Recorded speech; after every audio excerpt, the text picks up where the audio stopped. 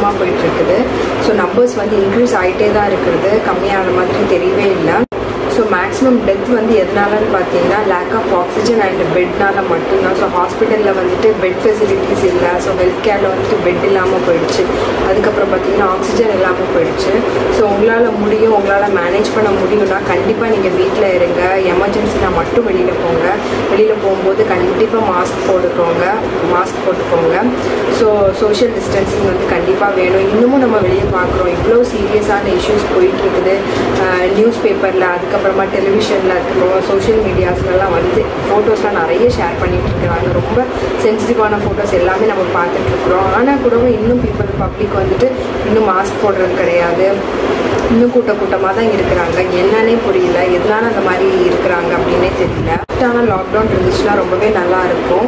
ஆனால் அது நிறைய பேருக்கு அது கஷ்டமாக கூட இருக்கும். அந்த லாக்டவுன் வந்து டே டு டே லைஃப்பை வந்து ரன் பண்ணுறதுக்கே கஷ்டமாக இருக்கும். பட் எப்படியாச்சும் வந்துட்டு சம்பவம் அதை வந்துட்டு நம்ம மேனேஜ் பண்ணிட்டோம் அப்படின்னா நம்ம இந்த ஒரு சீரியஸ் இஷ்யூலேருந்து கொஞ்சமாச்சும் நம்ம வெளியே வரதுக்கு சான்சஸ் இருக்குது பார்க்கலாம் லாக்டவுன் ஏதாச்சும் இருக்குதா அப்படின்ட்டு பார்க்கல. எவ்வளோ நாளைக்கு வந்து அந்த மாஸ்கோடு நம்ம இருக்க போகிறோம் நமக்கு தெரியல. குழந்தைங்களுக்கு வந்து ஸ்கூலுக்கு போகணும் ஸ்கூலுக்கு போகிறதுக்கு அவங்களுக்கு ஆசையாக இருக்குது. வீட்லேயே இருக்கிறாங்க. ரொம்பவே அவங்களுக்கும் கஷ்டமாக இருக்குது. ஆன்லைனில் கற்றுக்கிறனால அவங்களோட நாலேஜ் மட்டும்தான் இன்க்ரீஸ் ஆகுமே தவிர வேறு எந்த ஒரு ஃபிசிக்கல் ஆக்டிவிட்டீஸும் இல்லை. ஸோ ஒரு இன்ட்ராக்ஷன் இல்லை. வேறு எதுவுமே இல்லாமல் போயிட்டுருக்குது. ஸோ இது எவ்வளோ காலம் வந்துட்டு இது போக போகுதுன்றது தெரியல. ரொம்ப கஷ்டமாக இருக்குது. ஸோ கண்டிப்பாக வெளியே போகும்போது மாஸ்க் போடுங்க. சானிடைசர் அடிக்கடி யூஸ் பண்ணுங்கள் ஸோ வெளியில் போகாமல் இருக்கிறதுக்கு பாருங்கள் அதுக்கப்புறம் பார்த்தீங்கன்னா சோஷியல் டிஸ்டன்சிங் கண்டிப்பாக பண்ணுங்கள் வெளியில் போனீங்கன்னா. ஸோ இன்றைக்கி வந்து என்ன வீடியோ பார்க்க போகிறோம்னு பார்த்தீங்கன்னா ஒரு ரேண்டம் லாக் தான் பார்க்க போகிறோம் நான் கொஞ்ச நாளைக்கு முன்னாடி எடுத்த ஒரு கிளிப்ஸ் தான் உங்க கூட நான் ஷேர் பண்ண போகிறேன் ஸோ இது வந்துட்டு ஒரு வீக் டேஸ் எடுத்த vlog தான். என்னோடய என்னோட வந்துட்டு ஒர்க் ஃப்ரம் ஹோம்ன்றனால காலையில் கொஞ்சம் லேட்டாக தான் எழுந்திரிச்சேன் அதனால் எல்லாருக்குமே வந்து பிரேக்ஃபாஸ்ட் வந்து ப்ரெட் தான். ஸோ ப்ரெட் வந்துட்டு ஹஸ்பண்ட்க்கு வந்து ஸ்டஃப்டு ப்ரெட் கொடுக்க போகிறேன் முன்னாடி நாள் நைட் வந்து நான் சப்பாத்திக்கு வந்துட்டு பொட்டேட்டோ வச்சுட்டு ஒரு ஸ்டஃப் பண்ணியிருந்தேன். அந்த ஸ்டஃப் வந்து கொஞ்சம் பேலன்ஸ் இருக்குது. அதை தான் நான் யூஸ் பண்ண போகிறேன் நான் மோஸ்ட்லி வந்து நான் லெஃப்ட் ஓவர்ஸ் வந்து நெக்ஸ்ட் டே நான் யூஸ் பண்ணிடுவேன் ரொம்ப நாளைக்கு நான் ஃப்ரிட்ஜில் ஸ்டோர் பண்ண மாட்டேன். இப்போ வந்து தவாவில் வந்துட்டு நான் பட்டர் போட்டுட்டு ப்ரெட்டை வந்து லைட்டாக டோஸ்ட் பண்ணி எடுக்க போகிறேன் அப்புறமா இன்னொரு ஸ்லைஸில் வந்துட்டு நான் எக் வச்சு நான் கொடுக்க போகிறேன் இதுதான் அவங்களோட பிரேக்ஃபாஸ்ட் அதுக்கப்புறமா நான் வந்து ரொம்ப பெருசாக லேட்டாக எந்திரிக்கும் போது நான் சாப்பிட மாட்டேன். எனக்கு சாப்பிடவும் தோணாது. ஸோ டீ மட்டும் குடிப்பேன். அவ்வளோதான் கிட்ஸுக்கு பார்த்தீங்கன்னா அவங்களுக்கு வந்துட்டு ப்ரெட்டில் வந்து பீனட் பட்டர் அண்ட் நாட்டு சக்கரை போட்டால் அவங்களுக்கு ரொம்ப பிடிக்கும். நான் வந்து ஜாம் வந்து ரொம்பவே நான் அவாய்ட் பண்ணுவேன். ஏன்னா வந்து ரொம்ப சுகர் இருக்கிறனால நான் ஜாம் அவாய்ட் பண்ணுவேன். பீனட் பட்டர்லேயுமே வந்துட்டு சுகர் இருக்கிற மாதிரி நான் பீனட் பட்டர் வாங்க மாட்டேன். ப்ளெயினாக தான் வாங்குவேன். ஸோ கொஞ்சம் க்ரன்ச்சியாக கூட வாங்குவேன். அதனால கொஞ்சம் நாட்டு சக்கரை போடும்போது அவங்களுக்கு சாப்பிட்றதுக்கு ரொம்பவே நல்லாயிருக்கும். லைட்டாக டோஸ்ட் பண்ணிவிட்டு நம்ம பீனட் பட்டர் வந்து நம்ம ஸ்ப்ரெட் பண்ணிட்டோன்னா சாப்பிடுவாங்க. ஸோ எனக்கு வந்து மிட் மார்னிங் ஸ்நாக் மாதிரி ஏதாவது ஜூஸ் ஏதாவது எடுத்துக்கலாம். அந்த மாதிரி நான் விட்டுட்டேன். ஸோ அவங்களுக்கு பிரேக்ஃபாஸ்ட் எல்லாம் முடிஞ்சிச்சு.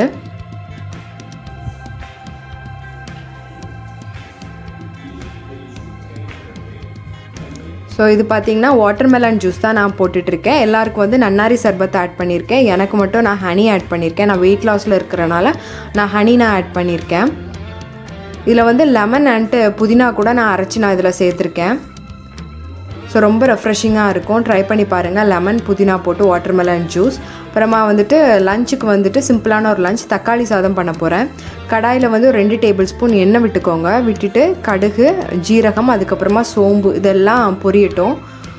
எல்லாம் கொஞ்சம் கொஞ்சம் போட்டுக்கோங்க. பொரியட்டும். பொரிஞ்சதுக்கப்புறமா நம்ம வந்து பூண்டு ஆட் பண்ணிக்கலாம். பூண்டு நிறையவே நீங்கள் சேர்த்துக்கலாம். நான் ஒரு ஆறு ஏழு பண்டு பூண்டு வந்து நான் நல்லா சின்னதாக சாப் பண்ணி நான் ஆட் பண்ணியிருக்கேன். ஸோ ஒரு சிம்பிளான ஒரு ரெசிபி இது. ஸோ பூண்டு கொஞ்சம் போ கோல்டன் கலர் ஆனதுக்கப்புறமா நம்ம வந்து கருவேப்பிலை ஆட் பண்ணிக்கலாம்.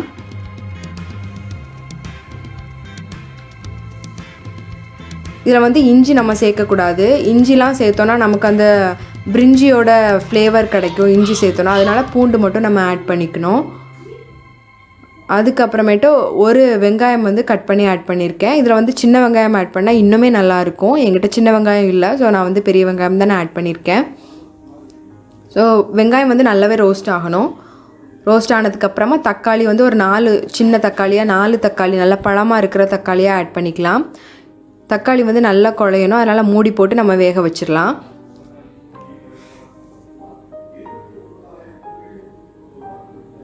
ஸோ தக்காளி வந்து நல்லாவே குழஞ்சிருச்சு.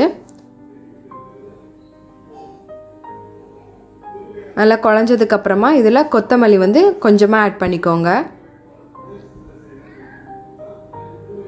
இதில் வந்து மசாலா பார்த்தீங்கன்னா மஞ்சள் பொடியும் காரத்துக்கு வந்துட்டு மிளகா பொடி மட்டும்தான். வேறு எதுவும் நான் ஆட் பண்ணல. உங்களுக்கு வேணும்னா நீங்கள் கரம் மசாலா ஜீரா பொடி அதெல்லாம் நீங்கள் ஆட் பண்ணிக்கலாம்.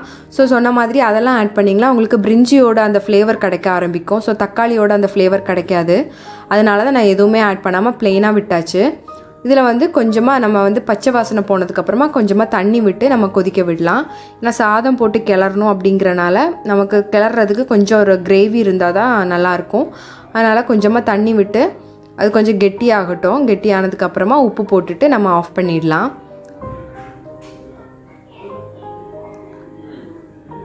நான் வந்துட்டு சாதம் வடிக்கும்போது நான் சாதத்தில் உப்பு போட்டிருப்பேன். அதனால நான் பார்த்து போட்டுக்கிறேன். நீங்கள் வந்து சாதத்தில் உப்பு போட மாட்டீங்க அப்படிங்கன்னா நீங்கள் வந்து இதில் கொஞ்சமே தூக்கலாக நீங்கள் ஆட் பண்ணிங்கன்னா உங்களுக்கு கரெக்டாக இருக்கும். சாதம் போட்டு கிளறும் போது இப்போ சாதம் ஆட் பண்ணிக்கலாம். சாதம் வந்து இது நான் சூடாக செஞ்ச சாதம் தான் இது வந்து நம்ம நார்மலாக சாப்பிட்ற பொன்னி அரிசி தான் இது. இது வந்து பாஸ்மதி அரிசியில் ரொம்ப நல்லா இருக்காது. இதில் வந்து ரொம்பவே நல்லாயிருக்கும் நான் அதனால தான் இதை ஆட் பண்ணியிருக்கேன். இதை ஆட் பண்ணிவிட்டு ஜென்டிலாக நான் கலந்து விட்டுக்கலாம். ரொம்ப கலந்து விட்டுட்டா ரொம்ப குழஞ்சிரும்.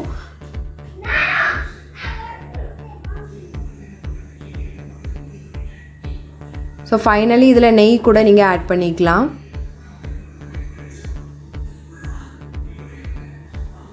ஸோ முடிஞ்சிச்சு. இதுதான் சிம்பிளான ஒரு தக்காளி சாதம். ஃப்ளேவர்ஃபுல்லாக இருக்கும். தக்காளியோட ஃப்ளேவரோடு இருக்கும். ஸோ கண்டிப்பாக ட்ரை பண்ணி பாருங்கள் இந்த தக்காளி சாதம். ஸோ இதுக்கு சைட் டிஷ் பார்த்தீங்கன்னா அப்பளம் தான். ரொம்ப நல்லாயிருக்கும் அப்பளம் இதுக்கு. ஸோ நித்தூலுக்காக கொஞ்சம் வத்தலும் வறுத்துருக்கேன். அதுக்கப்புறமா ஆம்லேட்டும் பண்ண போகிறேன் ஆம்லேட் வந்துட்டு நியானாக்கு வந்து அந்த ஆம்லேட் ஸ்மெல்லில் தான் அவள் கொஞ்சம் அந்த சாதம் சாப்பிடுவா. ஸோ எல்லாருக்குமே ஆம்லேட்டும் செய்ய போகிறேன் ஒரு சிம்பிளான ஒரு லஞ்ச் இது நான் வந்துட்டு குக்கர்லேயே நான் ரொம்ப பண்ணுவேன் சாதம். ஆனால் என்னோடய ஹஸ்பண்ட்க்கு வந்துட்டு குக்கரில் பண்ணுற தக்காளி சாதம் ரொம்பவே பிடிக்காது. அதனால நான் மோஸ்ட்லி வந்துட்டு தக்காளி சாதம் இது மாதிரி தான் நான் பண்ணுவேன் கடாயில். ஸோ அதுக்கும் இதுக்குமே ரொம்பவே டிஃப்ரென்ஸ் இருக்கும். அதை விடவுமே இது வந்து கொஞ்சம் நல்லா இருக்கிற மாதிரி தான் இருக்கும்.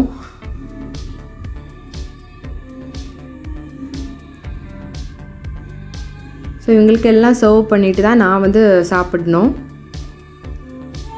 ஸோ எனக்கு பார்த்திங்கன்னா நான் வெயிட் லாஸில் இருக்கிறனால நான் வந்து சப்பாத்தி தான் நான் எடுத்துக்க போகிறேன் இது வந்து ஃப்ராசன் சப்பாத்தி. நான் வந்து செஞ்சு நான் வந்து ஃப்ரீசரில் வந்து ஸ்டோர் பண்ணிடுவேன் ஸோ இது எனக்கு எப்பப்போ வேணுமோ அப்பப்போ நான் எடுத்துப்பேன். நான் வந்து சீக்கிரமாக இது வந்து காலி பண்ணிடுறனால நான் வந்துட்டு ஃப்ரிட்ஜில் கூட சிலப்போ நான் வச்சுப்பேன். ரொம்பவே ஃப்ரெஷ்ஷாக இருக்கும். சீக்கிரமாக நான் வந்து செஞ்சிடுறனால. இப்போ எனக்கு வந்து ஒரு ரெண்டு சப்பாத்தி வந்து நான் போட்டு எடுத்துக்க போகிறேன் ஃப்ரெஷ்ஷாகவே இருக்கும். ரொம்ப சாஃப்டாகவே இருக்கும். நம்ம எப்பயும் பண்ணுற நார்மலான சப்பாத்தி மாதிரி தான் இருக்கும். ஸோ வெயிட் லாஸ் பண்ணும்போது நமக்கு அப்பப்போ வந்து மாவு பிசைஞ்சு பிசைஞ்சு பண்ணும்போது நமக்கு வெயிட் லாஸ் பண்ணணுமான்ற ஒரு கொஷின் வரும். அதனால் இந்த மாதிரி நீங்கள் பண்ணும்போது உங்களுக்கு டயட்டும் வந்து நல்லாவே ஒர்க் ஆகும். இல்லை வந்து பட்டர் இல்லை கீ இல்லை வந்து நல்லெண்ணெய் அப்படி ஏதாவது நீங்கள் ஆட் பண்ணிக்கலாம். இல்லை நார்மலான எண்ணெய் கூட நீங்கள் ஆட் பண்ணி நீங்கள் சப்பாத்தி போட்டு எடுத்துடலாம்.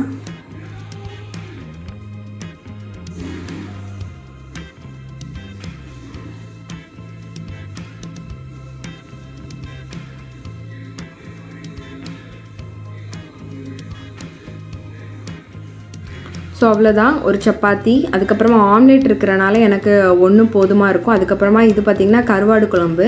முன்னாடி நாள் மத்தியானம் பண்ண கருவாடு குழம்பு இது. இதில் வந்து நிறைய நான் காய் சேர்த்து பண்ணுவேன். கத்திரிக்காய் வாழைக்காய். ஸோ இதில் நிறைய காய் கருவாடு எல்லாமே இருக்கும். அதனால் ஒரு சப்பாத்தி ஒரு ஆம்லேட் அதுக்கப்புறமா இந்த குழம்பு எனக்கு வந்து கரெக்டாக இருக்கும். ஸோ அடுத்த நாள் வந்து கருவாடு குழம்பு ரொம்பவே டேஸ்டியாக இருக்கும். ட்ரை பண்ணி பாருங்கள் ஸோ இதுதான் என்னோடய லஞ்ச் இப்போ பார்த்தீங்கன்னா வீக் டேஸ்ன்றனால வெஜிடபிள்ஸ்லாம் ஹஸ்பண்ட் வாங்கிட்டு வந்தாங்க. எல்லாமே சானிடைஸ் பண்ணி வைக்கணும். வந்து ஹஸ்பண்டே வாங்கிட்டு வந்துட்டு அவங்களே சானிடைஸ் பண்ணிவிடுவாங்க வெஜ் க்ளீனை யூஸ் பண்ணி சானிடைஸ் பண்ணுவாங்க. ஏன்னா ஒருத்தரே வாங்கிட்டு வந்து அவங்களே பண்ணிட்டாங்கன்னா அது ஈஸியாக இருக்கும். இது நான் வந்துட்டு நான் ஒரு வாட்டி யூஸ் பண்ணி அதுக்கு அதுக்கப்புறமா மறுபடியும் நான் க்ளீன் பண்ணணும். ஸோ எல்லாருமே அதில் வந்து கை வைக்கிற மாதிரி இருந்தால் ரொம்பவே நல்லா இருக்காது. அவங்களே க்ளீன் பண்ணிவிட்டு ஷவர் எடுத்துப்பாங்க. ஸோ இந்த மாதிரி தான் நாங்கள் க்ளீன் பண்ணுவோம்.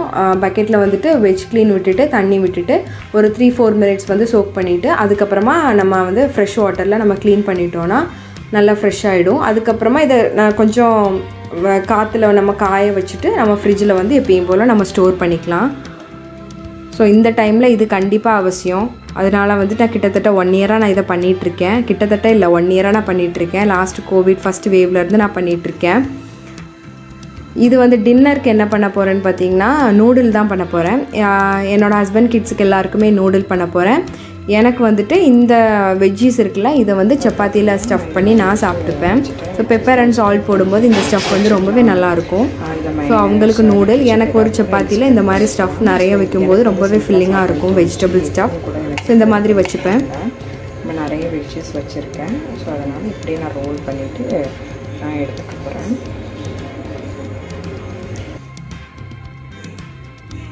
ஸோ வெயிட் லாஸ் பண்ணும்போது டின்னரை வந்து சீக்கிரமாக முடிச்சிடணும். அட்லீஸ்ட் வந்துட்டு எயிட்குள்ளாடி நம்ம வந்து டின்னரை கம்ப்ளீட் பண்ணணும். அது ரொம்ப இம்பார்ட்டன்ட்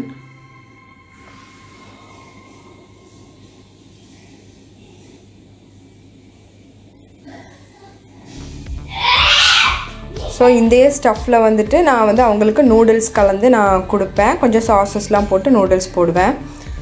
இது பார்த்திங்கன்னா நாங்கள் ரீசெண்டாக வந்து பைக் வந்து வாங்கியிருந்தோம். இந்த செகண்ட் வேவ்க்கு முன்னாடி தான் செகண்ட் வேவ்க்கு முன்னாடியே நாங்கள் வாங்கிட்டோம். அந்த லாக்டவுனுக்கு முன்னாடியே நாங்கள் வாங்கிட்டோம்.